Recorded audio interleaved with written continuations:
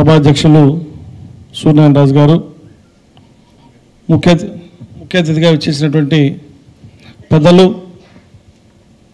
భారతీయ Janata party రాష్ట్ర అధ్యక్షులు సోమవీర్రాజు గారు అట్లానే మరో ముఖ్య అతిథి పెద్దలు రాజ్యసభ సభ్యులు జీవీఎల్ నరసింహారావు గారు అట్లానే మరో ముఖ్య అతిథి senior IAS officer IAS officer అంటే ఎట్లా ఉండాలి అంటే మనం ఉదాహరణకి కొంతమందిని చెప్పుకునే దానిలో కృష్ణారావు గారిని ఒకరిని మనం చెప్పుకోవచ్చు.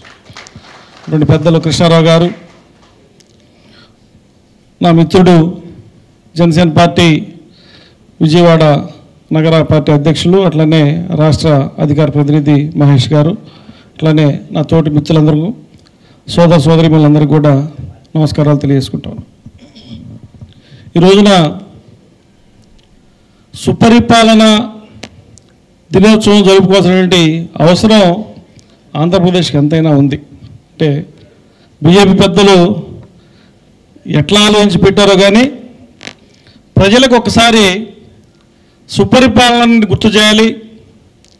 రాక్షస పాలనని మనం అనుభవిస్తూ ఉన్నాం. గతంలో పెద్దలు వాజ్పేయి గారు ఏ విధంగా సుపరిపాలన కొనసాగించారో వారి స్ఫూర్తితో మోడీ గారు ఏ విధంగా పరిపాలన కొనసాగిస్తా ఉన్నారో రాష్ట్రంలో ఉన్నటువంటి పెద్దలు తెలుసుకోవాల్సినటువంటి అవసరంగా భావిస్తూ ఈ యొక్క సుపరిపాలన దినోత్సవాన్ని ఏర్పాటు చేసినట్టుగా మేము భావిస్తూ ఉన్నాం. ఎందుకంటే ఇప్పుడు పెద్దలు చెప్పారు శాండ్ కానించి లిక్కర కానించి కాంట్రాక్టులు కానించి గ్రామ స్థాయిలో ఏ పని జరిగినా కూడా వాళ్ళకి డబ్బులు కావాలంటే ఇక్కడ బిల్డింగ్ కడతా ఉంటారు. లేకపోతే ఇక్కడ రోడ్డు వేస్తూ ఉంటారు. లేకపోతే ఇక్కడ కాలో కాలువ కడతా ఉంటారు. అటువంటి అవినీతి మైన మయమైనటువంటి పాలన ఈరోజు రాష్ట్రంలో చూస్తూ ఉన్నాం. దీనికి ఒకటే మార్గం. భవిష్యత్తులో భారతీయ జనతా పార్టీ జనసేన పార్టీ నాయకులందరూ కలిసి కూడా రాష్ట్రంలో కలుపు మొక్కలుగా ఉన్నటువంటి ఈ యొక్క వైసీపీని పీకివేయడానికి ముందుకు రావాలని చెప్పి కూడా పిలుపునిస్తూ ఉన్నాం. అట్లానే గతంలో ఒక సినిమాలో చూసాం. మీ అబ్బాయి ఎక్కడున్నాడా అని అంటే మా అబ్బాయి నీలాంటి అవినీతి పరులైనటువంటి వాళ్ళని కలుపు మొక్కలుగా తీస్తా ఉన్నాడు ఇది మహేష్ బాబు గారి సినిమా అనుకుంటా. అట్లానే ఈ రోజున భారతీయ జనతా పార్టీ కానివ్వండి జనసేన పార్టీ కానివ్వండి రాబోయే రోజుల్లో వ్యవసాయం చేయాలంటే రెండెద్దులు కావాలి. రెండెద్దులుగా రెండు పార్టీలు ఉండి వ్యవసాయం చేసి ఈ రాష్ట్రాన్ని బాగు చేయడానికి ముందుకు రావడం కోసం మనం ప్రజల వెళ్ళాలి.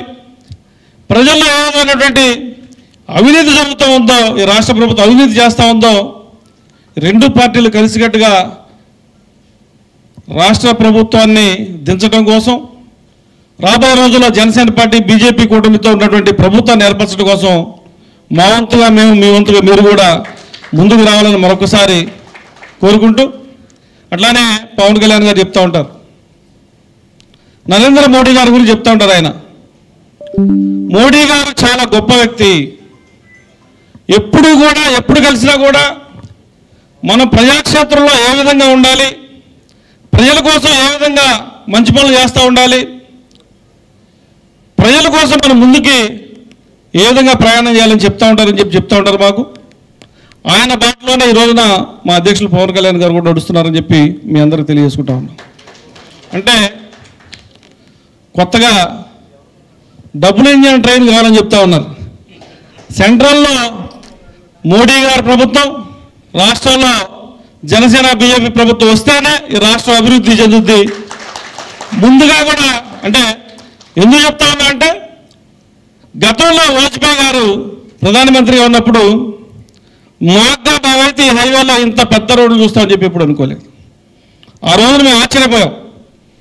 అంటే కుర్రాళ్ళగా ఉన్నా కూడా కాస్త కాస్త అవగాహన ఉన్నా కూడా రాజకీయం తెలిసినా కూడా గుంటూరు విజయవాడ మధ్యలో ఇంత పెద్ద లైను మరలా సర్వీస్ లైను టోల్ గేట్సు పర్ఫెక్ట్గా ఏ లైన్లో లైన్లో వెహికల్స్ వెళ్ళేటట్టు ఏర్పాటు చేయటం అంటే ముందు చూపు అనమాట సుపరిపాలన అంటే అది. ఈ రోజున మన రోడ్డుకి అడ్డంగా గోడ కడతా ఉన్నారు. చిన్న చిన్న రోడ్లు మనం పంచాయతీల్లో చూస్తూ ఉంటే చాలా చాలా చోట్ల మనం వింటూ ఉన్నాం. మీరు మాకు ఓటు వేయలేదు మీరు నడవటానికి రోడ్డు పైన గోడ కట్టేది ఏంటంటే? ఎవడబ్బా సొమ్ము అది? రోడ్డు అంటే ఆ యొక్క గ్రామ పంచాయతీకి మనం పంచ ఎవరైతే లేఅవుట్ వేస్తారో వాళ్ళు రాసి ఇచ్చేస్తారు అంటే ప్రజలందరూ నడవడానికి సంబంధించినటువంటి రోడ్డు.